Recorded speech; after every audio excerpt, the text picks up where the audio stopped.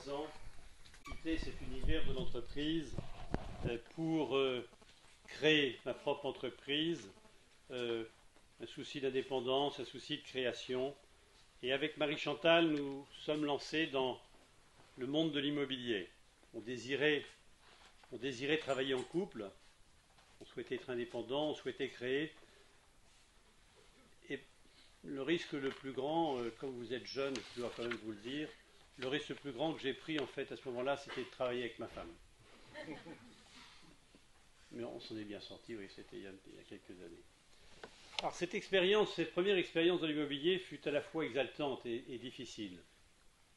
Je quittais pour ma part un monde avec un bel avenir tout tracé.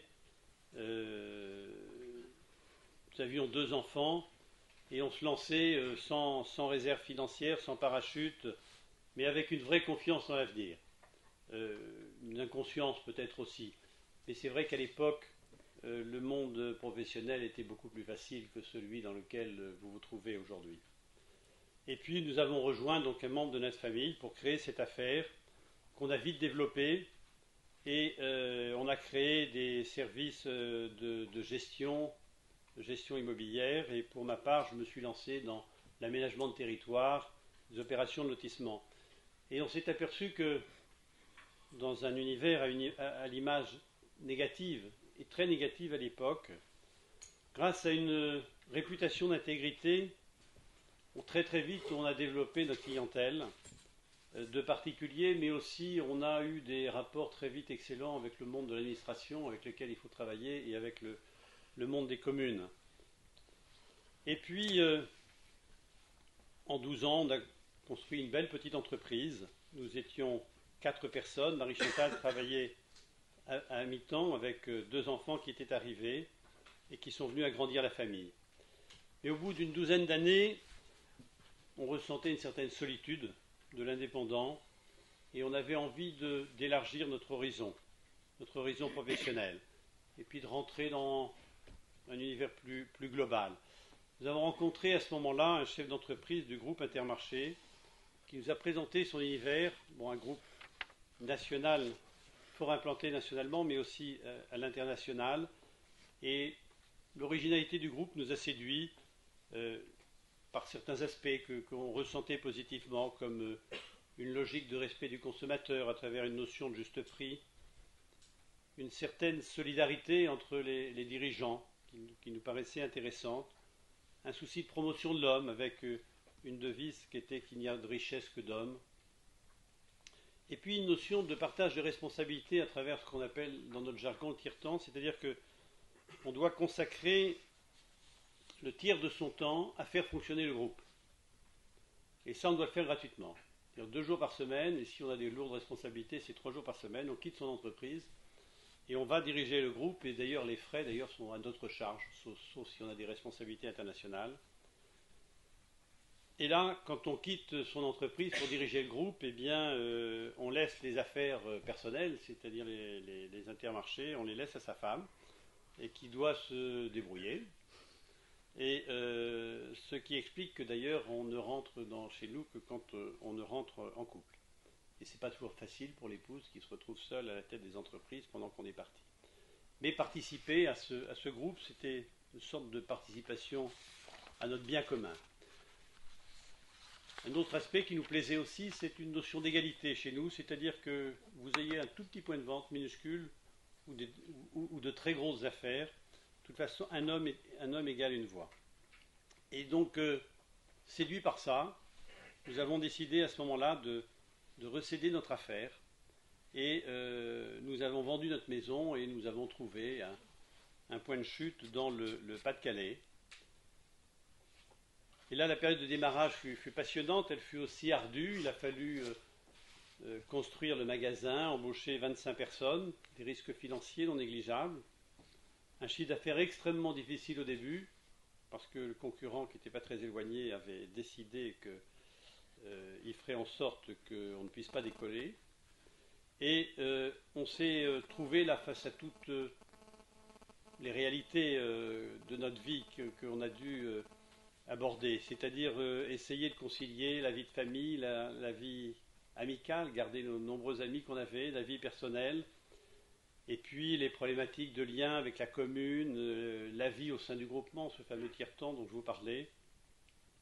Donc période un peu difficile, passionnante, et au bout de cinq ans, on a revendu cette affaire, et c'est comme ça que nous sommes arrivés dans ce département. Nous avons racheté l'intermarché de Compiègne, et là, on est parti dans un rythme un peu effréné de, croissance, en créant un, un, étau avec huit personnes. Compiègne, on était avec une soixantaine de salariés, et on a racheté Fitgems, pour ceux qui sont de l'Oise, on a racheté Clermont, et racheté ensuite euh, l'intermarché de, Margny-les-Compiègnes, et euh, pour finalement euh, nous lancer dans des politiques de grandissement de points de vente, raser certains points de vente, donc vraiment une course effrénée au travail et, à l'expansion. On avait 200 salariés, 30 000 clients semaine, donc vous imaginez que ça demande un tout petit peu d'heures de, travail, beaucoup de, relations avec des entreprises, fournisseurs, etc. Et puis, dans le cadre de mon tiers-temps, euh, je me suis trouvé très vite avec des responsabilités importantes. Pendant les six premières années, j'étais responsable du développement dans ce qu'on appelle maintenant les Hauts-de-France. Alors le développement, c'est quoi? C'est trouver des terrains, créer des centres commerciaux, euh, créer, euh, trouver des, emplacements pour les enseignes. Et après ces six premières années, je me suis retrouvé à la tête du groupement en Belgique, nous avions décidé de nous, développer là-bas. Donc, euh, quand je suis arrivé, il y avait un tout petit noyau de, 9 points de vente.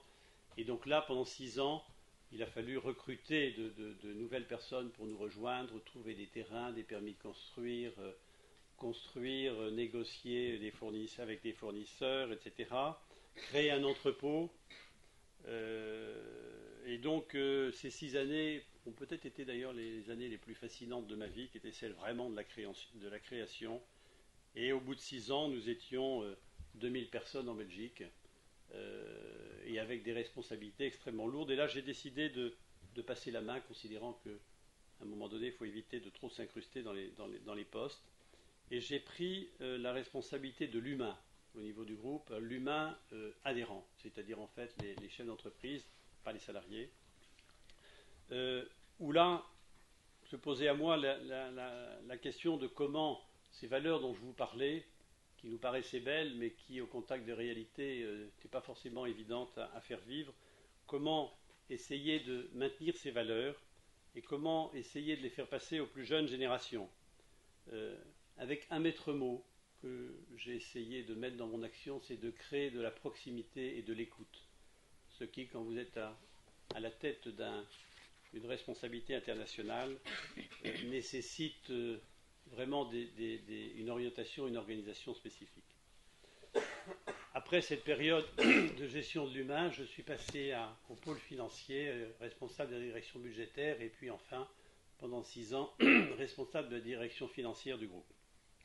Là aussi, beaucoup de, beaucoup de responsabilités, beaucoup d'engagement, quelque chose de passionnant mais il est évident que ces défis euh, auxquels euh, je, m'affrontais étaient pour le chrétien que, j'étais une problématique de dire mais comment je vis l'évangile au milieu de tout ça? Comment les valeurs évangéliques, je les mets en application? Voilà, et je vais passer la parole à Marie Chantal qui va exposer maintenant ce qu'a été cette première phase, cette première longue phase de notre vie, comment nous avons essayé de vivre pendant cette phase-là notre vie de chrétien en entreprise.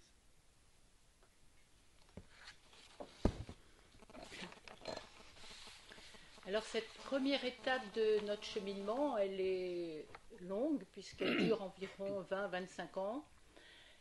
Eh bien, nous avons vécu un peu notre vie de chef d'entreprise en parallèle avec notre vie de chrétien.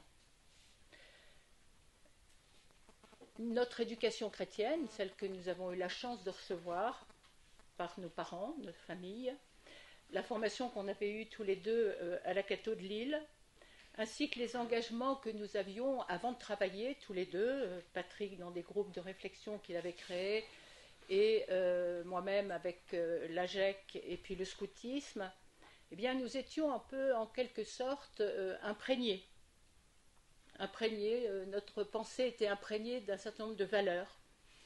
et euh, un peu comme une évidence. On, était un peu tombé dedans.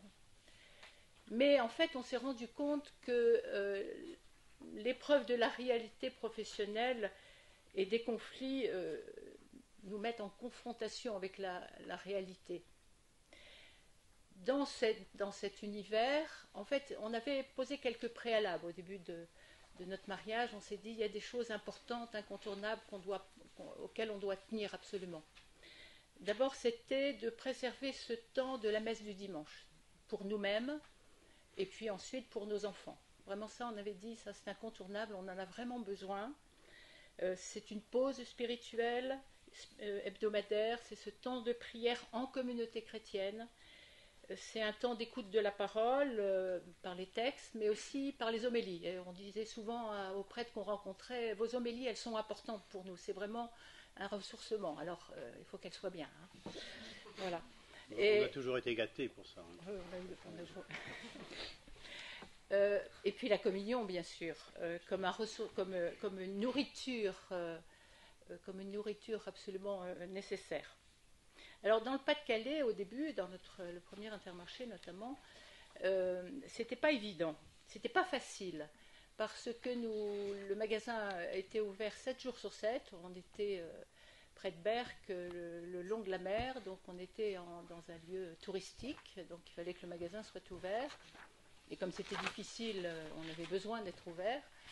Et donc euh, c'est Patrick qui le dimanche allait ouvrir le magasin de façon à préparer à préparer l'ouverture de, de 9 heures. Euh, il ouvrait à 6 heures, ensuite à 8 heures, il allait dardard à la messe, de 8 heures à 9 heures. Vous voyez que ce n'est pas forcément un climat idéal pour se préparer. Et puis à 9 heures, il allait ouvrir avec les collaborateurs. Et puis moi, j'allais de mon côté euh, à la messe avec les enfants. Donc, pas forcément évident à vivre. Alors nous avions décidé, donc ça c'était un petit exemple pour montrer que même là, même cette priorité-là, elle n'est pas facile euh, forcément à vivre. Et puis on avait décidé aussi de, garder un, engagement, d'avoir un engagement dans l'Église, malgré euh, l'importance du travail. On se dit c'est important de ne pas perdre de pied et, de rester euh, et de rester engagé dans, dans, cette vie de communauté. Alors bon, au Havre, on a fait la préparation au mariage, à Rouen, de la promotion de la presse chrétienne par par euh, la Croix et puis on a créé, on a participé à la création de la première radio chrétienne qui a été vraiment une expérience extrêmement intéressante dans le tout début des, euh, radios chrétiennes. Euh, à Montreuil, ben là on avait un peu moins de temps donc je faisais de l'animation liturgique. Puis à Compiègne, eh bien on a fait de l'aumônerie à l'école des enfants et notamment moi la chorale liturgique paroissiale. Voilà donc on a essayé à la fois de garder ce temps pour la, messe, ce temps euh, de présence dans la vie de l'Église, et puis bien sûr, on était conscient que tout ce qui nous alimentait, on allait essayer de le vivre euh, dans notre vie professionnelle. Alors on le voyait euh, comme un, troisième pied, et puis on disait respect de l'autre qui nous paraissait important, capital, l'honnêteté bien sûr, le sens du travail bien fait, et celui, euh, celui du service. Mais on s'aperçoit que au quotidien, les difficultés qu'on rencontre sont, nombreuses. On vivait d'ailleurs à l'époque, les années 70-90, dans une société peu porteur, avec une image négative de l'entreprise. Euh, la société avait une image négative, l'Église aussi. Et euh, il n'était pas rare que nous soyons montrés du doigt, euh, et plus d'une fois, comment? Et plus d'une fois, je, à la fin d'une homélie, j'étais pas très satisfait de la vision qu'avait le prêtre du monde du travail. Bon, mais c'était pas à Compiègne, c'était avant ça. Hein. Et puis travailler dans la grande distribution, c'était pas forcément bien vu à l'époque. Hein. Je me souviens quand on a annoncé que on rentrait dans le monde de la grande distribution, on avait même reçu une lettre anonyme pour nous expliquer que ce n'était pas compatible d'être chrétien et de travailler dans l'univers de la grande distribution. Ces remarques nous touchaient, mais elles, nous interrogeaient. Et puis, ce qui n'était pas facile à vivre au quotidien, c'était ce, ce, problème de la maîtrise du temps. comment, trouver un équilibre entre ce travail et les risques qu'on avait pris, les endettements qu'on avait, et puis ce temps pour la famille, ce temps pour les amis, le temps pour le couple, euh, ces périodes de vacances, euh, comment ne pas oublier de fêter les anniversaires, comment fixer des priorités. Euh, je me vois encore, parce que ce n'était pas programmé, ne pas pouvoir aller à l'enterrement de cousins, etc. Donc tout ce qui était en dehors de mon agenda était difficile à honorer, ce qui est quand même un tout petit peu un comble quand on arrive à ce point-là difficile de maîtriser le temps, difficile aussi de, prendre du recul et d'analyser un peu en chrétien ce que ce qu'on ce qu'on faisait et, les décisions qu'on prenait. Sentiment un peu de solitude aussi. Euh, nous étions animés de valeurs profondes. Nous étions profondément ancrés dans la foi, mais, mais, vraiment seuls. Et notre héritage familial, heureusement qu'il était là, heureusement qu'il était solide mais ce n'était pas forcément évident et nous étions souvent tiraillés entre nos, convictions profondes et puis les responsabilités qu'on avait, entre notre conception qu'on avait de la dignité et, des prises de possession de certaines de nos collaborateurs. Certains de nos collaborateurs, notamment nos directeurs de magasins, étaient parfois en conflit, ils ne respectaient pas les valeurs qui nous paraissaient essentielles tiraillé entre la, nécessaire efficacité, mais aussi le droit à l'erreur, entre la rigueur et la malhonnêteté qu'on rencontre. Et puis, comment faire face à la réalité d'un univers que vous connaissez bien, d'une concurrence chaque jour plus importante, et puis en même temps notre désir aussi de donner une chance aux plus fragiles. Difficulté à prier quand on est en permanence dans l'action, tellement on était submergé par la vie, la vie qui était la nôtre. Ah, c'est intéressant ce que je dis, mais c'est à toi de parler là. C'est pas souvent que Marie-Chantal m'écoute comme ça, ça fait plaisir. C'est des moments de grâce. Hein. Alors ces, difficultés, en fait, ont généré euh, tout au long de ce cheminement un certain nombre de questionnements. Les questionnements, en fait, euh, l'Évangile nous les pose. Les paroles du Christ euh, sont parfois très très dures quand elles parlent du monde. J'en ai retenu une, mais on pourrait en citer, euh, n'est-ce pas, plein. Je prends celle du premier chapitre de, la première lettre pardon, de Saint Jean, chapitre 2. Écoutez, elles sont vraiment dures. Hein. N'aimez pas le monde, ni ce qui est dans le monde. Si quelqu'un aime le monde, l'amour du Père n'est pas en lui. Tout ce qui est dans le monde, convoitise de la chair, convoitise des yeux, et la confiance orgueilleuse dans les biens ne provient pas du Père, mais provient du monde.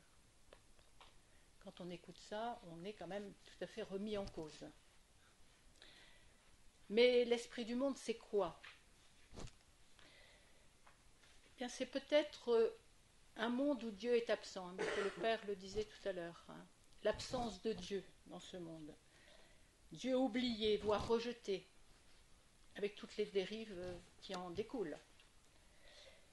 Est-ce que nous, nous ne sommes pas, est-ce que nous n'avons pas été de l'esprit du monde quand nous nous sommes laissés submerger par le rythme de travail, par euh, l'envie qui est peut-être devenue prioritaire, de performance, de réussite et même parfois de pouvoir?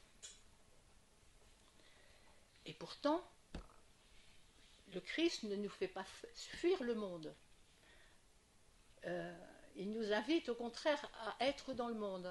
Notre, notre, le choix que nous avions fait de l'évangile pour notre mariage, c'était justement l'inverse. C'était euh, dans Saint Matthieu, le chapitre 5, vous êtes le sel de la terre et vous êtes la lumière du monde. Donc c'est vraiment, on ne peut pas être le sel ni la lumière du monde si on n'est pas dedans. Voilà. Et puis dans Saint Jean aussi, euh, chapitre 2, celui qui prétend être dans la lumière tout en haïssant son frère est toujours dans les ténèbres. Qui aime son frère demeure dans la lumière. C'est-à-dire qu'en fait, c'est bien auprès de nos frères dans le monde qu'on est appelé à vivre en chrétien. C'était bien au quotidien qu'on a à vivre de l'Esprit de Dieu. Et on ressentait euh, ce tiraillement dont parlait Patrick tout à l'heure, une, insatisfaction euh, diffuse. En plus, on avait quand même les témoignages, la chance d'avoir les témoignages des prêtres qui nous entourent, puis particulièrement euh, le témoignage du, frère de Patrick, qui est prêtre, qui a donné toute sa vie pour, à Dieu et pour l'Église. Donc euh, on avait en quelque sorte un, sentiment de ne pas accomplir euh, ce qui était notre vocation. Euh, nous, nous, manquions d'équilibre et notre vie chrétienne manquait de, de, quelque chose, de sel. En fait, nous, avons compris dans cette, ce long cheminement que nous avions besoin d'unifier notre vie qui avait trop le parallèle vie professionnelle, vie chrétienne, et plutôt trois quarts vie professionnelle et puis un quart de vie, de vie chrétienne. Et en fait, on a découvert qu'on on était trop seul, qu'on avait besoin de réfléchir euh, avec d'autres. Alors plusieurs fois, euh, un ami notamment nous avait dit bah, viens rejoindre le groupe de partage, etc. Et on était en fait tellement omnubilés, tellement pris dans ce climat, bah, qu'on n'avait pas saisi cet appel, on n'avait pas compris. Et en fait, avec le temps, on a un autre ami qui est, quand on était à Compiègne, qui est, venu nous voir et qui nous a dit on va créer une équipe de, des EDC euh, euh, entrepreneurs et dirigeants chrétiens euh, à Compiègne. Et en fait, là, enfin, je crois que l'esprit, il était là, et ça a trouvé profondément, ça a trouvé écho chez nous. Et ce fut vraiment un, tournant qui nous a fait passer de cette première étape euh, à cette deuxième étape de notre vie.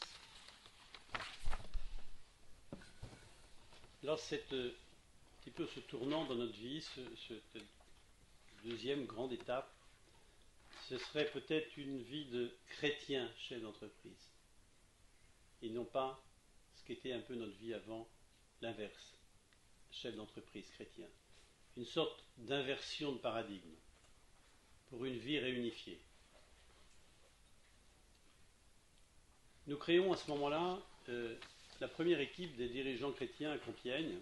Je suis euh, heureux de voir qu'il y en a quelques-uns dans l'Assemblée. Avec une quinzaine de, dirigeants et, d'entrepreneurs. Nous ressentons tous le, même besoin, le même besoin de partager ensemble de façon fraternelle, de marquer des temps de pause, de marquer des temps de réflexion, de marquer des temps de prière. C'était tout sauf un club de rencontres mondains. On a veillé à la simplicité des lieux, un repas euh, partagé mais, plutôt frugal.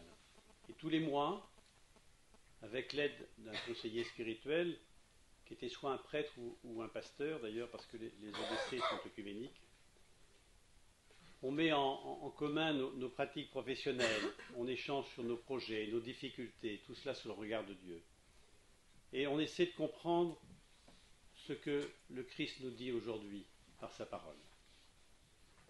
Tous les mois, nous nous écoutons les uns les autres, avec fraternité, avec humilité. Nous écoutons et nous échangeons sur nos problèmes professionnels ou personnels, sur nos joies, nos victoires, les difficultés. Et le partage nous permet de nous ouvrir les uns les autres à d'autres dimensions de notre action. La lecture de la parole de Dieu, peu à peu, change notre regard et nous, nous aide au discernement. Mais au sein de cette équipe, nous avons vécu une évolution intéressante. On s'est aperçu, nous avons démarré et nous avons essayé de faire en sorte que des personnes nous rejoignent et puis nous avions en fait un noyau dur. Et ce noyau dur était rejoint régulièrement par d'autres personnes qui venaient mais qui repartaient. Donc on ne comprenait pas, donc nous, noyau dur, on disait, euh, on ne comprenait pas très bien ce qui se passait. Et ça, ça a duré deux, ou trois ans.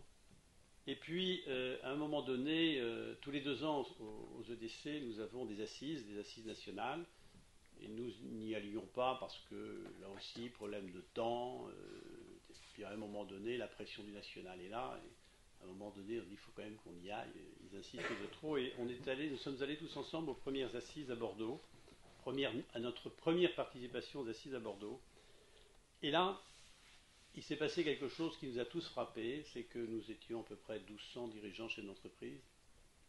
Et notre première rencontre, on nous a demandé, alors que nous étions en train de prendre un pot, un peu comme ici dehors, mais il faisait plus chaud qu'ici quand même, on nous a demandé de faire silence. Donc, euh, on fait silence, c'était, mais bon, on n'était pas trop dans l'ambiance. Faire silence pour rentrer, et les EDC et les assises allaient commencer. Et là, nous sommes rentrés en silence dans un grand amphithéâtre où un lieu de prière avait été préparé sur l'estrade, et nous sommes tous installés, sans parler, et pendant une demi-heure, nous avons prié. Et de cette expérience vécue, de ce qu'avait été le démarrage des assises, on s'est dit, mais on s'est centré sur l'essentiel quand nous étions aux assises à Bordeaux, et nous, notre équipe, ne se fonde pas sur l'essentiel dans notre mode de fonctionnement même si, je vous l'ai expliqué, on essayait de, vivre, de regarder, de mettre sous le regard du Christ ce que nous vivions, mais nous ne le faisons pas bien. Et nous avons décidé à ce moment-là que nos réunions changeraient de mode de fonctionnement et que nous commencerions toutes nos réunions par le temps de prière et que ce serait peut-être l'élément qui devait être le plus préparé par nos équipes. Et nous avons fonctionné comme ça. Et il s'est passé la chose suivante, c'est qu'à ce moment-là, les nouveaux arrivants, eh bien, quasiment tous restaient. C'est-à-dire que c'est la parole du Christ sur laquelle on se centrait qui a fait qu'à un moment donné, les gens ont répondu profondément à ce qu'était l'attente des gens. Et ce matin, j'ai eu l'immense plaisir de voir qu'il y avait ici dans la salle quelqu'un qui avait rejoint la quatrième équipe qui est se créée Hein, qui s'est créé en janvier dernier sur Compiègne. Nous avions, nous, donc créé la première équipe. Au bout de un an, comme les gens venaient et restaient, on était trop nombreux, donc euh, on s'est séparés en deux, Marie-Chantal et moi, donc on... Enfin non, on est restés ensemble, évidemment. Donc on, a créé une deuxième équipe, et, et, la deuxième équipe, à un moment donné, il y avait trop de monde qui nous rejoignait en suivant la même méthode. Donc on est trop, trop nombreux, et donc au moment où nous passions la main, nous avions décidé de quitter les EDC parce que j'avais cédé mes, entreprises, je prenais ma retraite, semi-retraite. Euh, on nous a demandé de créer la troisième équipe. Et voilà, et, donc j'ai appris ce matin que c'était la quatrième était créée. Ça veut dire qu'un changement radical s'était opéré. Mais ce qu'il faut remarquer aussi, c'est que si ce changement est radical, il n'en est pas moins lent, comme une lente maturation le Christ ne nous brusque pas, il nous prend par la main. Et là, c'est de nouveau à toi. Alors, au cours de cette euh, deuxième étape, il y a un événement qui va nous marquer, qui va beaucoup marquer notre vie à tous les deux. C'est le cancer de Patrick, qui nous surprend, euh, car sans antécédent familial et encore jeune et que l'on détecte heureusement euh, très tôt, grâce en particulier à des batteries, c'est le bon côté des choses, à une batterie de contrôle de santé pour un emprunt important souscrit pour euh, des investissements pour nos entreprises. Comme quoi ça sert. Voilà, il ne faut pas refuser de les faire, surtout. Alors en plein chantier de transfert, on était en agrandissement d'un côté, en transfert de l'autre, Patrick subit une opération lourde qui va le clouer au lit plusieurs mois. Alors vous imaginez bien que ce fut quand même une période de doute. Il était sur Paris, moi j'étais sur Compiègne. Ce fut un temps de doute, un temps de difficulté, un temps de travail euh, euh, colossal avec les quatre entreprises et les quatre enfants. Euh, mais ce temps nous a, cette période nous a beaucoup, beaucoup soudés tous les deux. Mais en même temps qu'il nous a soudés, ça nous a aussi, euh, ça a accentué notre questionnement sur le sens de notre vie. Alors tous ces événements nous interpellent, et puis en même temps, on sent, euh, avec tout ce cheminement avec les EDC, on sent vraiment la présence de Dieu auprès de nous. Je pense qu'on n'aurait pas pu vivre cette période-là de façon à peu près équilibrée et à peu près sereine s'il n'avait pas été là. Et donc, cette rencontre des EDC, plus ces, événements, en fait, nous font prendre complètement conscience que Dieu est avec nous. On le savait par notre éducation, on le savait, mais en fait, je ne suis pas sûre qu'on en était, on l'avait vraiment complètement intégré, euh, complètement intégré. On a pris conscience que le Christ, euh, en fait, nous accompagne de façon quotidienne dans notre vie. Et euh, il est avec nous, bien sûr, à chaque fois que nous le prions. Et en fait, plus, plus nous, nous, pensons à lui, plus en fait, plus on peut rentrer en contact avec lui. Et plus nous ressentons que plus nous ressentons que nous sommes en relation avec lui, et plus nous acceptons de nous faire transformer par lui. Il est aussi, bien sûr, dans l'Eucharistie, on l'a évoqué tout à l'heure, il est dans la lecture de la parole, et puis alors là, ben, on prend un peu de temps, on décide de prendre un peu de temps euh, pour suivre un, cycle de formation biblique, euh, basique, parce qu'on en, est à nos débuts avec le, le groupe ABC Bible existe dans notre diocèse. Et ça nous a donné le goût de la parole, la compréhension et le goût de la parole.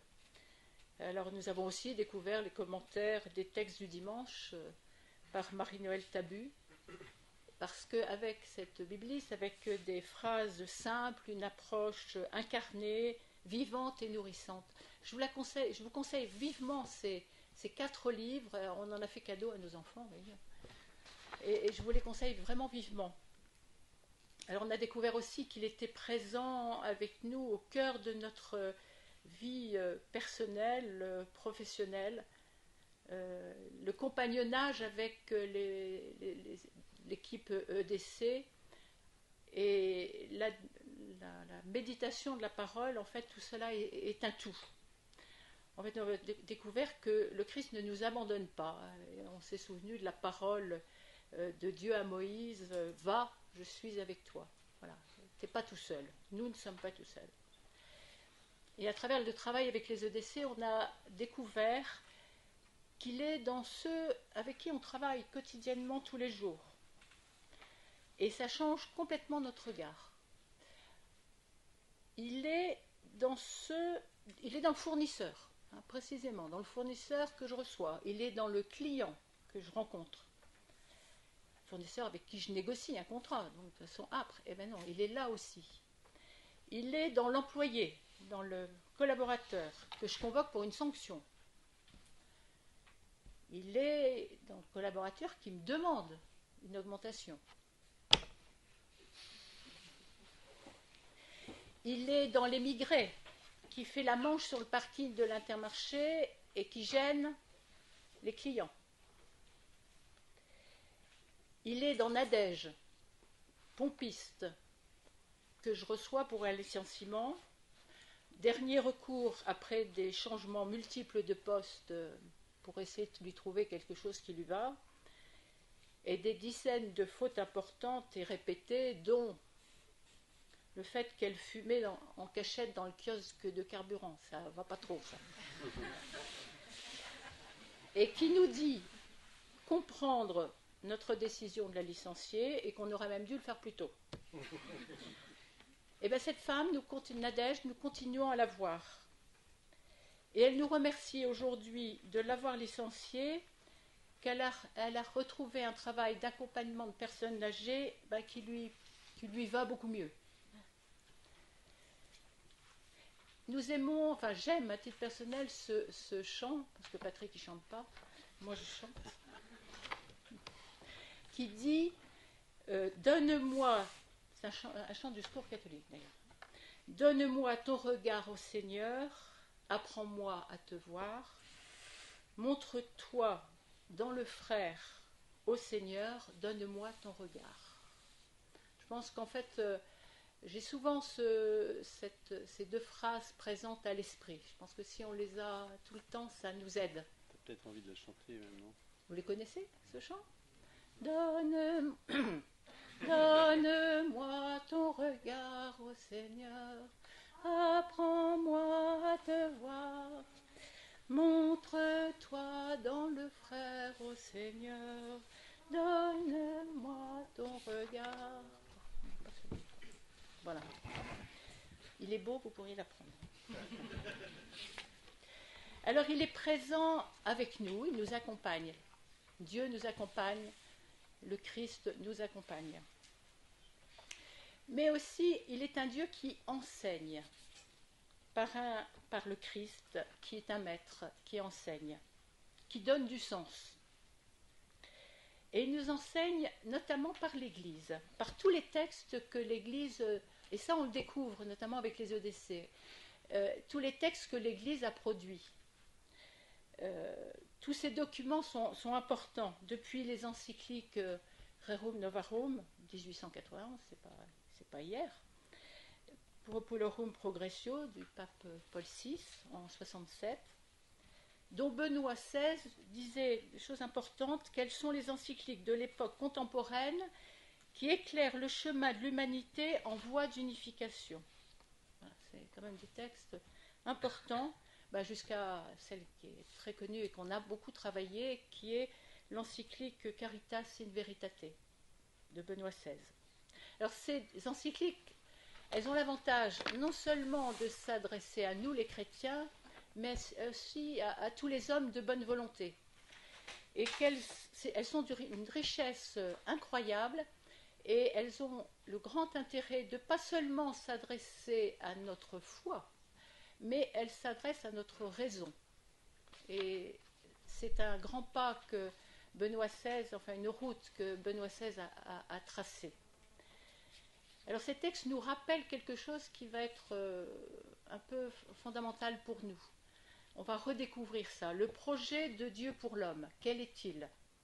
Dieu crée l'homme pour qu'il soit heureux, qu'il parvienne à la plénitude en étant totalement unis à lui, Père très aimant. Et c'est le Christ qui permet cette pleine communion. En découvrant, en redécouvrant ce, projet de Dieu pour l'homme, en fait, on replace notre travail comme une participation à l'œuvre de Dieu. Ça donne du sens à notre travail. Œuvre euh, dont il nous confie la gestion. Il nous confie ce monde et nous en sommes responsables, pour orienter ce monde vers Dieu. En fait, il nous rend gardiens du jardin de Dieu. Et ça, on retrouve ces phrases-là dans Si. Et il nous dit, ces textes nous disent que servir le projet de Dieu, c'est servir l'humanité. Cette évolution que, que l'on a, ces découvertes que, l'on fait change la vision de notre univers professionnel, à Marie-Chantal et moi.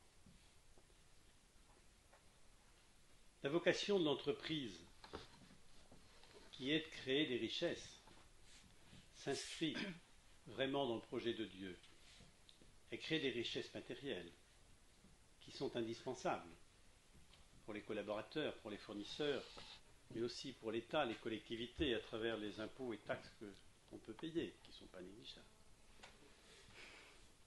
Mais l'entreprise est aussi fondamentalement un lieu important de création de richesses humaines, de promotion, un lieu de relations humaines. Et nous prenons conscience que notre entreprise doit participer au développement intégral des personnes. Ça nous est demandé à travers l'enseignement de l'Église et on sent qu'on doit le vivre. Créer du travail, qui est une de nos, une de nos missions, c'est créer quelque chose de bon. Le travail étant l'inverse de, de la pensée marxiste du travail aliénant. Jean-Paul II disait Le travail est constitutif de la personne, il permet à l'homme de participer à l'activité créatrice de Dieu. Et c'est vrai que quand on voit l'importance qu'a pris le chômage chez nous aujourd'hui, on se dit que c'est vraiment un drame important pour les personnes. Nous avons pris conscience de la nécessité de faire grandir chaque personne. Et le travail participe à la croissance de la personne à chaque fois que concrètement on favorise dans nos entreprises des relations de respect, toute personne doit être respectée. Les collaborateurs, les clients, les fournisseurs, ce n'est pas toujours facile à vivre. En cas de licenciement pour faute, il nous faut essayer, il ne faut jamais enfoncer la personne, même si on doit se, séparer d'elle. Mais il faut aussi reconnaître un droit à l'erreur des personnes dans l'entreprise. Ça doit exister. Il nous faut favoriser aussi des relations de confiance. La parole tenue et doit la parole doit être toujours tenue vis-à-vis de qui que ce soit, au-delà des écrits, bien avant les écrits. Il faut que les négociations avec les interlocuteurs qu'on a soient toujours des négociations équilibrées et jamais profiter des situations de force dans lesquelles on peut, être parfois, mais pas toujours. Il nous faut favoriser des, relations de, développement et de reconnaissance des compétences de nos collaborateurs, de la nécessité de formation, de promotion, de travailler les évolutions de carrière. Il nous faut favoriser une, travailler une ambiance cordiale dans l'entreprise. C'est important, avec des règles de jeu claires. Et puis, pratiquer l'exemplarité des comportements de nos responsables vis-à-vis de leurs subordonnés, mais en premier lieu de nous-mêmes. Et il nous faut exercer cette grande règle que nous enseigne l'Église, la subsidiarité, hein, qui veut dire que le niveau de responsabilité, les responsabilités doivent être au niveau des personnes qui peuvent les prendre elles-mêmes et pas à l'échelon supérieur. Pour qu'une entreprise fonctionne bien, il nous faut respecter cela. Et quelle joie réelle on a pu avoir quand on, a permis à des collaborateurs de devenir responsables de rayon ou directeurs de magasin, et que cinq d'entre eux aujourd'hui sont des chefs d'entreprise au sein de, notre groupement. Et quand j'ai quitté la Belgique, j'ai passé la main à un de mes collègues qui est quelqu'un que j'avais recruté pour devenir adhérent, qui était un ancien boucher. Ce type est, devenu un chef d'entreprise absolument remarquable, euh, et c'est lui qui m'a succédé, euh, qui m'a succédé quand j'ai quitté la Belgique avec une, euh, une performance qui était, qui était vraiment excellente, tellement cet homme avait, du bon sens et savait aussi manager les autres personnes. Un autre point qui, concrètement a, changé, euh, changé, pour nous, c'était la, la, vision et le rôle que notre entreprise elle-même devait avoir. Notre entreprise elle-même, en tant que personne morale, devait être citoyenne. Et ça, ça s'inscrivait en décalage complet par rapport à ce qu'était ma vision auparavant. Notre entreprise doit elle-même être soucieuse du bien commun et faire en sorte que cette appréhension du bien commun elle le soit par les personnes avec lesquelles on travaille. L'encyclique Mater et Magistrat disent le bien commun comporte l'ensemble des conditions sociales qui permettent et favorisent dans les hommes le développement intégral de leur personnalité. Et Benoît, Benoît XVI, dans son encyclique, nous dit c'est une exigence de la justice et de la charité que de vouloir le bien commun et de le rechercher. Alors le bien commun, ben, c'était pour nous euh, travailler à, respecter la planète de nous-mêmes, en évitant le gaspillage, en essayant, avant qu'il y ait des règles qui soient fixées par la loi, de récupérer les déchets, les cartons, les plastiques, de développer la vente de produits bio ou équitables. Nous avions euh, euh, introduit dans nos, dans nos, points de vente les produits Alter Eco qui étaient créés par Tristan Lecomte, qui est un type assez génial, qui a produit cette marque de produits équitables et que nous avions d'ailleurs invité à Compiègne au sein des équipes d'essai. On avait passé une magnifique soirée avec lui et il nous expliquait quelle était la vue qu'il avait du respect de la planète et, de, de rapport équitable avec les pays en développement. Et puis notre entreprise, on a voulu aussi qu'elle soit partie prenante de la vie de la cité.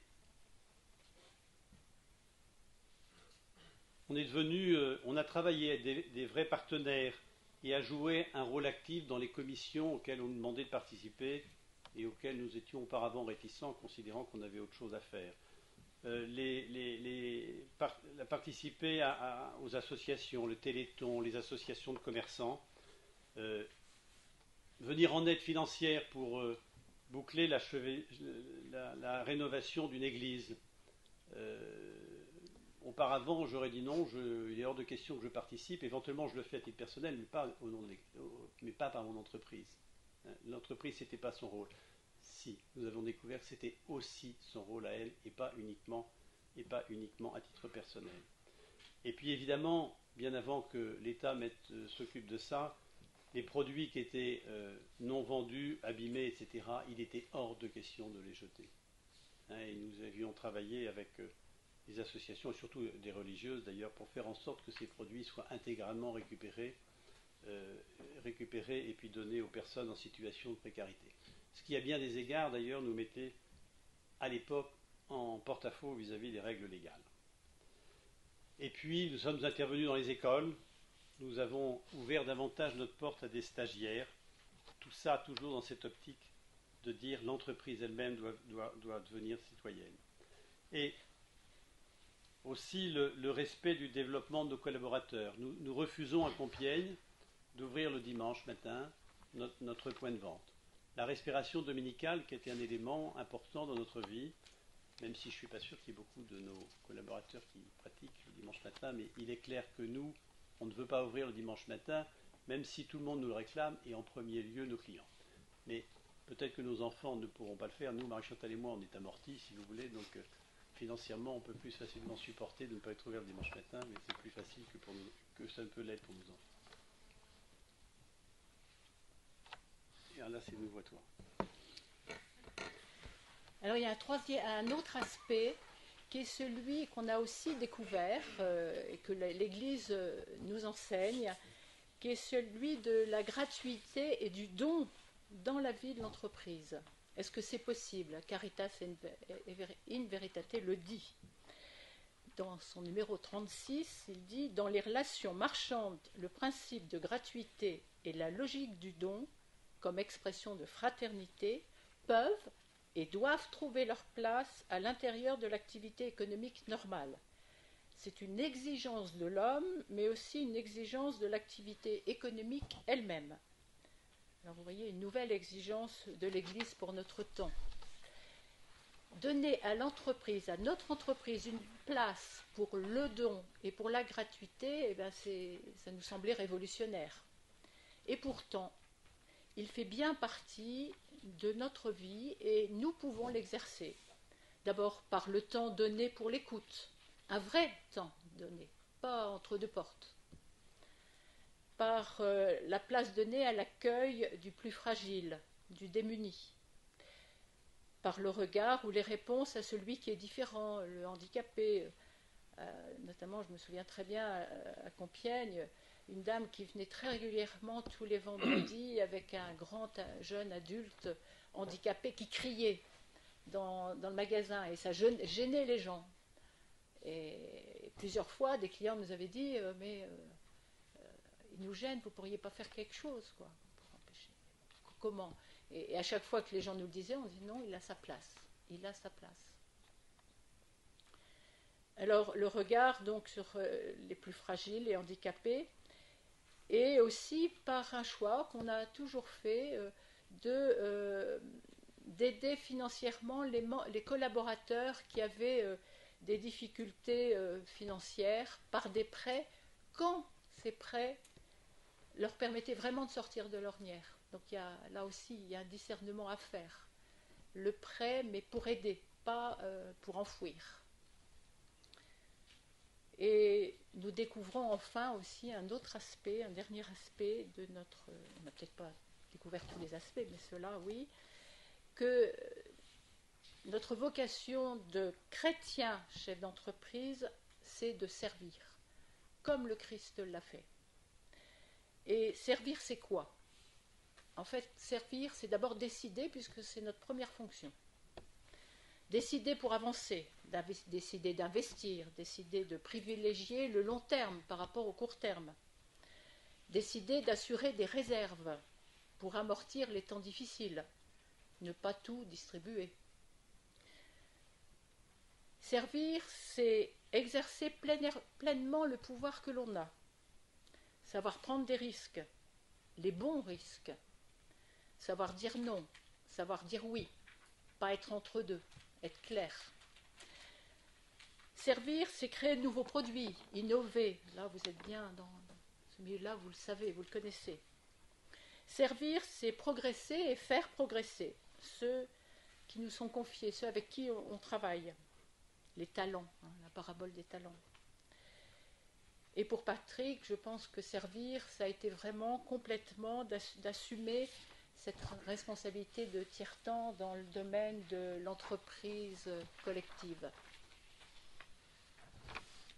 En conclusion,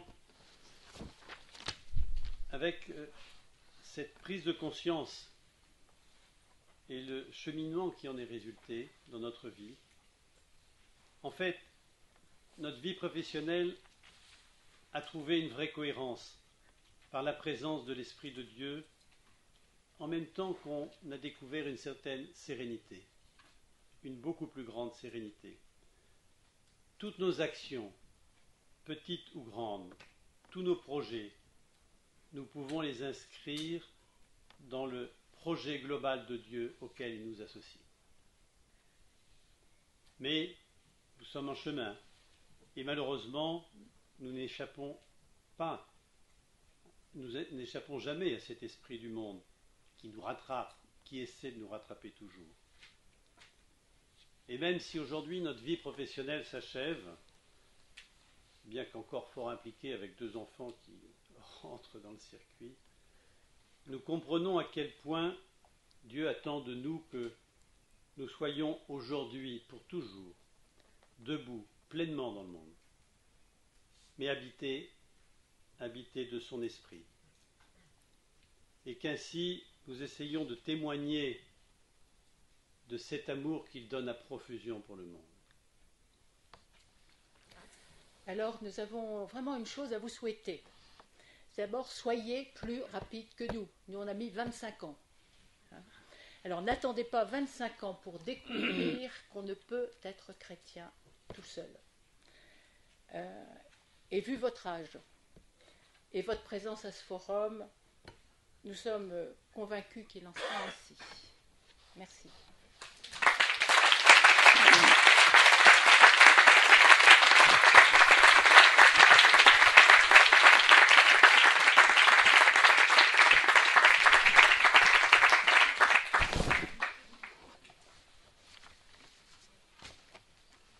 Alors c'est le temps des questions. Profitons un grand merci déjà pour le travail que ça représente. Euh, vous avez passé pas mal d'heures, ça se voit. Euh, ah c'est une révision de vie. C'est ça, oui, c'est ça, oui. C'est une révision de vie. Et donc euh, voilà, est-ce que vous avez des questions En profiter pour poser. On J'ai assisté il n'y a pas très longtemps à un témoignage de Gérard Munier, le patron de champ. Et il parlait de la transmission de ses entreprises aux membres de sa famille et leur donner des responsabilités et un cadre dans tout en ayant un esprit en fait catholique. Et je voulais savoir pourquoi vous n'avez pas développé l'actionnariat auprès de, vos enfants, par exemple, dans la transmission de vos entreprises? Tout le monde a entendu la question? Oui. Vous avez entendu la question? Alors, là, là un, des grands, un des gros problèmes que l'on a quand on est indépendant, c'est le problème de la transmission. Quand euh, il n'y a pas d'enfant intéressé par l'entreprise, c'est un peu plus facile. C'est un peu plus facile, il faut simplement trouver des repreneurs et essayer de faire en sorte que la cession de son entreprise soit dans des conditions qui assurent pleinement sa survie sur le moyen et le long terme. Et c'est vrai qu'à plusieurs reprises, nous avons cédé des entreprises dans le parcours que l'on a eu. Et une des joies que l'on a aujourd'hui, c'est que la totalité des sessions que nous avons faites euh, ont été des pleins succès aujourd'hui. Ce sont aujourd'hui des adhérents qui fonctionnent. Ça veut dire que les conditions financières de, la session étaient euh, cohérentes par rapport à une exploitation future et, aujourd'hui ces points de vente-là vont bien et, d'ailleurs les, personnes sont très heureuses de, de la façon dont ça s'était passé. Je crois que être chrétien entreprise, c'est aussi cela. Alors, quand euh, on a par contre des enfants, là c'est très compliqué. La problématique muliaise est un peu différente de la nôtre. D'abord, ils sont beaucoup plus gros que nous. Hein. Mais eux, en fait, ce sont des, un actionnariat familial qui reste propriétaire de l'ensemble. D'accord? Ils sont aujourd'hui à peu près 1000, 1000 euh, héritiers.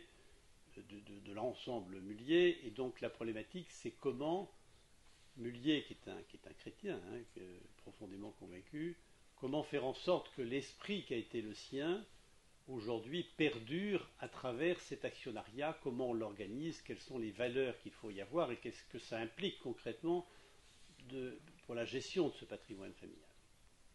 Il y, arrive, il y arrive plutôt bien, même si c'est quand même complexe. Nous, la problématique est très différente. C'est-à-dire que nous, on ne peut pas avoir d'actionnariat familial. Nous sommes un groupe d'indépendants. C'est-à-dire que euh, nos enfants ne peuvent avoir qu'un point de vente. Hein. et en plus, c'est avec son conjoint. C'est-à-dire, ce n'est pas un frère et une sœur. si un de nos enfants euh, est marié, il peut racheter un de nos points de vente. Alors, si on a quatre enfants euh, et qu'on a quatre points de vente, on peut vendre. le problème, c'est que nous, on a réussi à en convaincre deux. Et les deux autres, ils sont perdus. Il y en a une qui est médecin, donc voilà. Et, on a un autre, il est magistrat. Donc on ne réussit pas tout dans une vie. Et, bon, il faut faire avec. le, problème, que l'on a, c'est que euh, le, problème de la transmission qu'on a, c'est comment garder une égalité, comment respecter aussi les règles fiscales. C'est-à-dire qu'en fait, vous ne pouvez pas dire je vais vendre moins cher parce que c'est mon enfant, parce que le fisc veille au grain, d'accord? Et vous avez un contrôle fiscal si vous ne vendez pas un prix suffisamment élevé. J'en ai eu un qui n'était pas vendu à un enfant d'ailleurs, que j'ai vendu à l'Intermarché Clermont. Contrôle fiscal, monsieur, vous ne l'avez pas vendu assez cher. D'accord? Sous-entendu, je n'ai pas touché suffisamment de taxes. D'accord? Euh, C'est ça, en fait, la, préoccupation. Bon, très bien, le contrôle s'est bien passé, on leur a expliqué qu'ils se trompaient, etc. Mais enfin, il faut, travailler le sujet quand même, hein, ça ne se fait pas comme ça. Alors quand on, quand on est avec les enfants, nous la problématique c'est, euh, ben voilà, nous avons deux enfants qui reprennent les affaires, et notre gros problème c'est comment conserver une égalité entre nos enfants avec des univers complètement différents, deux qui reprennent et deux qui sont à l'extérieur. Donc ça, c'est quelque chose qui pour nous est très important parce que nous avons une chance extraordinaire, c'est que nos enfants s'entendent très très bien entre eux et ces valeurs qu'on a réussi un peu à transmettre et, la façon dont ils vivent leurs relations, pour nous, ce qui est premier, c'est que ça perdure. C'est premier. Et donc, c'est quelque chose qu'on a énormément travaillé depuis, une quinzaine d'années. On a conçu une façon de faire en disant voilà, s'il y en a un, deux qui, viennent chez nous, voilà comment on propose ça. Et à ce moment-là, nous avons réuni nos enfants il y a, il y a une dizaine d'années en disant écoutez, voilà, on ne sait pas s'il y en a qui vont venir ou pas, mais voilà comment les choses vont se passer financièrement s'il y en a qui, viennent ou pas. Donc on a mis, on a mis tout sur la table et, nos enfants sont au courant de tout et adhèrent à, ce que nous avons proposé, considérant que c'était juste. D'accord? Que ce que nous faisions était juste. Je rentre pas dans, la technique, c'est un peu, un peu compliqué. Mais euh, c'est pour nous euh, quelque chose de très important. Il n'y aurait rien de pire pour nous que de briser cette magnifique unité familiale que l'on a pour des questions de succession, des problèmes financiers, etc. Donc c'est un gros sujet important, bon, mais qui va bien se passer chez nous parce qu'on l'a anticipé et puis qu'on a aussi la chance d'avoir des enfants qui, bon, qui sont chouettes. Même ceux qui ne sont pas. Euh, oui, puis il y avait un autre aspect, peut-être aussi dans. On a voulu aussi, d'une certaine façon, il y a dix ans, non pas clore le sujet, parce qu'il va se reposer dans la mesure où il y, a encore, euh, il y en a une qui arrive, quoi.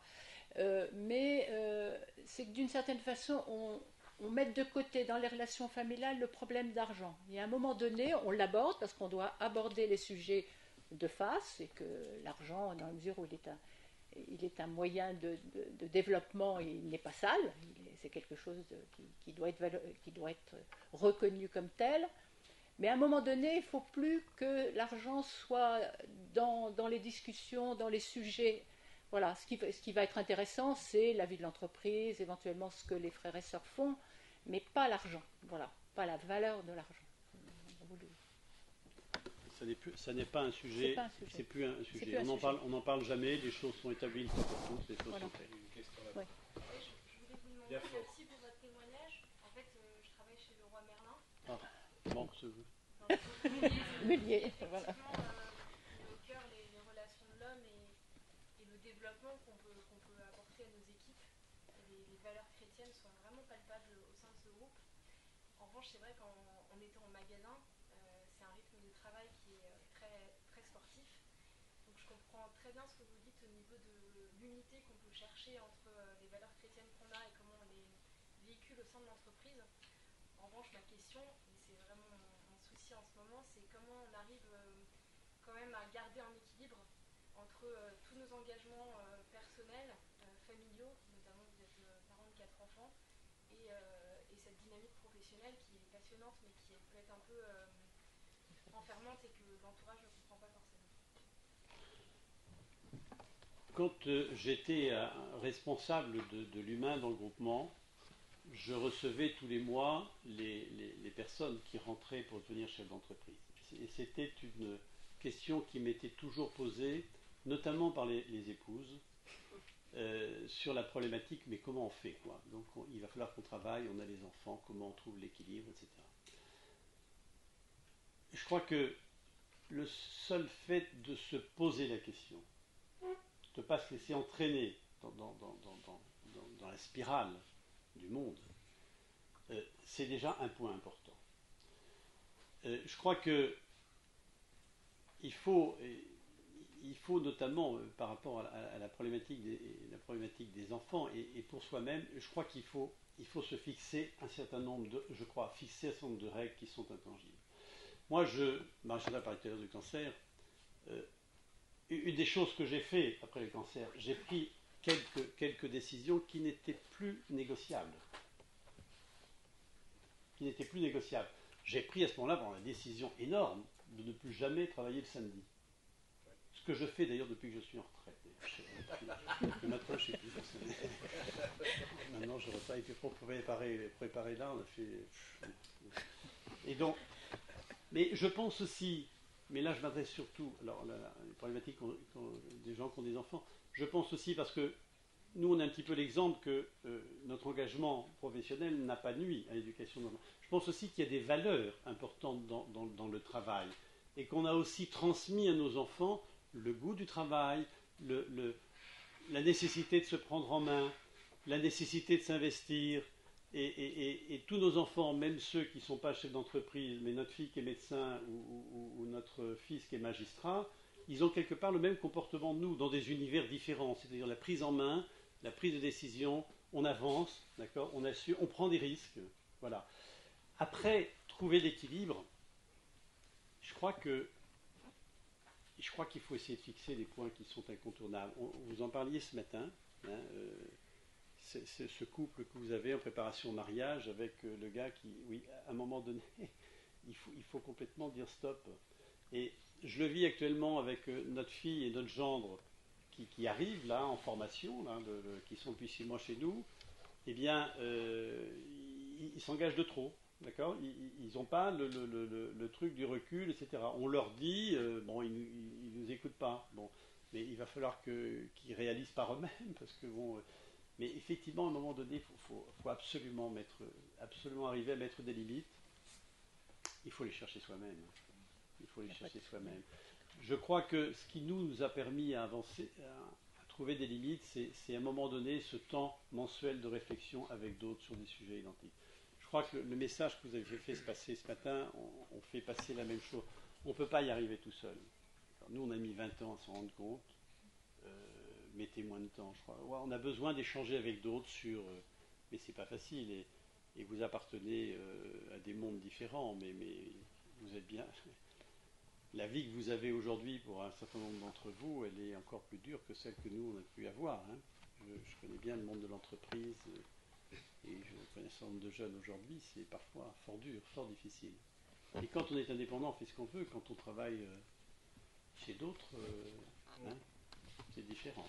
C'est plus compliqué que ça ne l'est pour nous.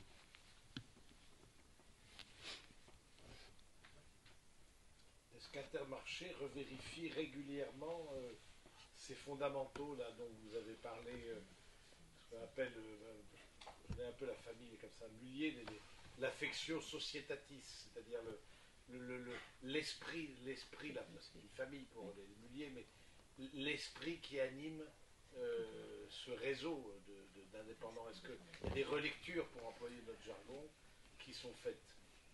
Et des personnes dont on estime qu'ils ne le pratiquent pas et dont on peut éventuellement relever euh, de la responsabilité porterai pas forcément une. Euh, je ne suis pas forcément très optimiste par rapport à cette problématique. En fait, notre groupe a été créé par des, gens profondément catholiques, d'ailleurs. Hein.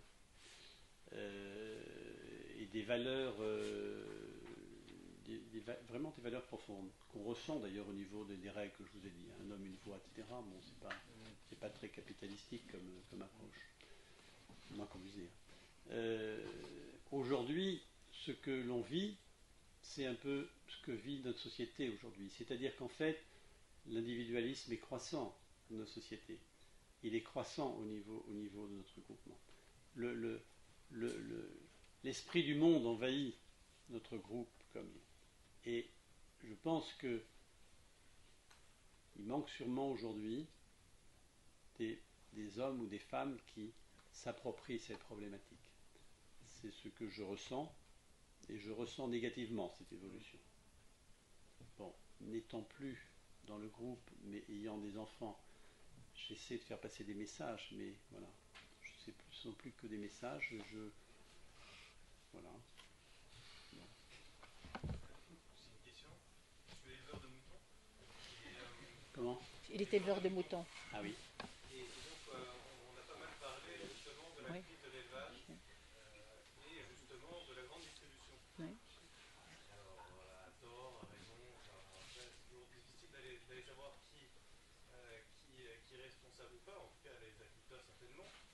comment se passe la grande distribution justement dans, son rapport à, la marge Et est-ce que justement dans sa vente de produits, l'organisation de son, dans organisation, elle prend en compte qu'il est important que les producteurs derrière, euh, c'est une chaîne et qu'elle est solidaire Donc on ne peut pas euh, prendre euh, un, pour, rien Alors c'est un sujet auquel je suis personnellement très sensible parce que je suis issu du milieu agricole et euh, tous mes cousins, euh, tout le monde est agriculteur.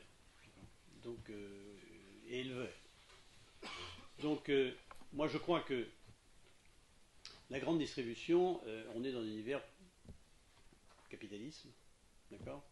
Donc on essaie d'acheter le moins cher possible, et la concurrence nous impose de vendre le moins cher possible, et a priori comme ça,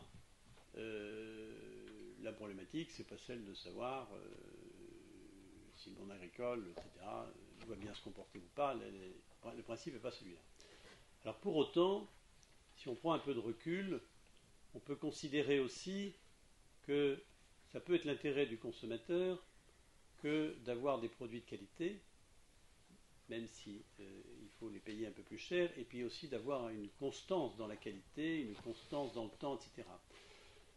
Et un groupe comme le nôtre a été peu touché par les manifestations qu'il y a récemment parce que euh, on a passé des accords avec des groupements de producteurs de porc, de producteurs de, bovins, etc., pour justement, en contrepartie d'un approvisionnement régulier dans le temps et d'un prix un peu plus élevé que le marché, avoir une qualité et une assurance d'une qualité supérieure et d'une sécurité aussi. Que nous, on a, je ne vous l'ai pas dit tout à l'heure, mais on a un gros pôle industriel. Nous sommes les seuls à avoir un énorme pôle industriel, 60 usines chez nous. On, fabrique nous-mêmes et on vend sous notre nom. Et quand on vend sous notre nom, notre responsabilité est énorme. Demain, dans les médias, on annonce qu'il y a la vache folle dans les produits SVA. Euh, c'est une catastrophe. Donc, si vous voulez, la problématique de qualité, elle est très importante. Et la problématique de qualité de l'approvisionnement, est importante. Mais. Euh, par rapport au prix, parce qu'on voit souvent, alors, ça me choque un peu de voir ah, euh, les meilleurs prix euh, pour la qualité française. Et, c'est vrai que en fait, quand j'entends cette phrase-là, je me dis, bah, on est en train de se faire avoir parce que forcément, si on veut avoir toujours le meilleur prix, à un moment, c'est forcément au détriment de quelque chose. Et c'est souvent au détriment de la qualité. Et comment, ça va être compliqué pour vous, en effet, de dire, bon, en effet, on a un problème de concurrence. Et d'ailleurs, c'est marrant de voir que, donc, que ce soit Casino, Auchan, Intermarché, c'est des, catholiques qui sont à l'origine finalement de, mhm. ces sociétés-là, mhm. et que, euh, in fine, 50 ans plus tard, on arrive à, quelque chose où, on ne s'utilise plus que le, prix comme, un, seul et unique moyen de faire venir, même si on mhm. sent peut-être que la qualité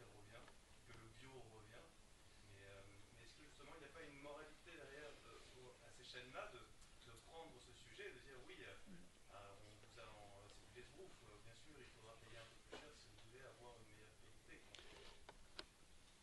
Moi, moi je, ce que j'ai dit tout à l'heure de la découverte que l'on avait fait que notre entreprise elle-même devait devenir citoyenne. L'entreprise, personne morale d'ailleurs, et vous personne morale, personne morale devait devenir entreprise citoyenne, qui la seule façon qu'on unifie notre vie et qu'elle elle entre dans le projet, dans le projet de Dieu, cette, cette exigence-là fait qu'on ne peut pas ne pas intégrer cette, approche que vous développez là. On ne peut pas ne pas l'intégrer.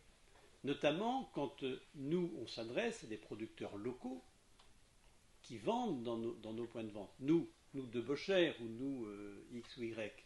C'est une donnée qu'on ne peut pas ne pas intégrer si on, si on a ces valeurs-là.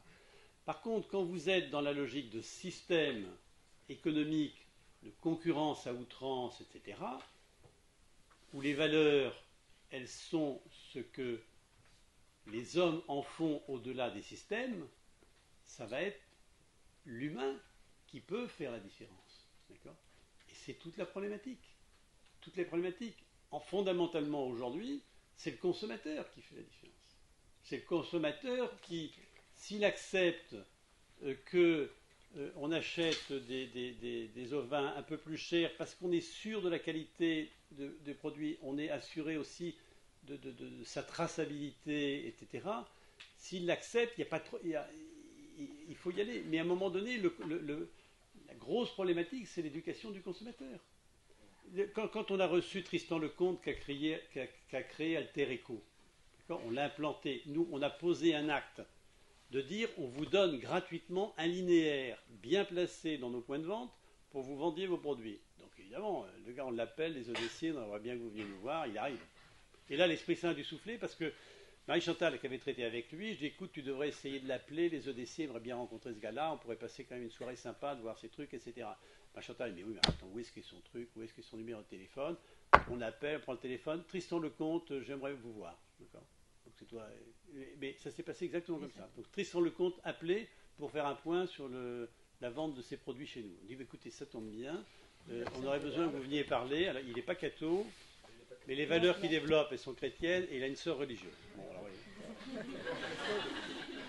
mais il nous a expliqué qu'il n'était pas catho. Pas, de problème. Donc, euh, on a passé une magnifique euh, réunion. Alors, Moi, je pense que dans la. Mais là, je, on ne va pas faire de la politique, mais un des gros problèmes du monde agricole aujourd'hui, c'est qu'en fait, si vous voulez, il supporte des charges que les concurrents étrangers n'ont pas. D'accord? Et euh, c'est une problématique de fond qu'il y a. Sans compter que le, crédit, le, crédit agricole, le monde agricole souffre aussi d'avoir été trop producteur uniquement et de ne pas s'être suffisamment projeté dans, l'acte de vente. On, a créé un système où, l'agriculteur produit. Oui, mais il, faut avoir une logique de vente derrière. Hein. il faut l'intégrer, ces données-là. Il y avait un gros producteur de vaches en Allemagne, là, truc intégré, qui vend son lait, les vaches ne vont pas à l'herbe. D'accord? Donc ils vendent son lait, eux, ils n'ont pas de problème de, surproduction en Allemagne, parce qu'ils sont, ils sont très bas en prix, pour multiples raisons. Mais euh, et on lui dit, mais pourquoi vous ne mettez pas vos, bovins à l'herbe? Ce serait, euh, ben, je ne les mets pas à l'herbe, je, peux les mettre, mais je dois vendre un centime plus cher et mon consommateur n'en veut pas. logique du consommateur. Le consommateur ne veut pas, donc je ne les mets pas. Si le consommateur il veut qu'elles aillent à l'herbe, euh, qu'il paye un centime de plus, bien évidemment, je les mets. Enfin bon, c'est un sujet compliqué. Écoutez, on va s'arrêter là maintenant. Un grand merci.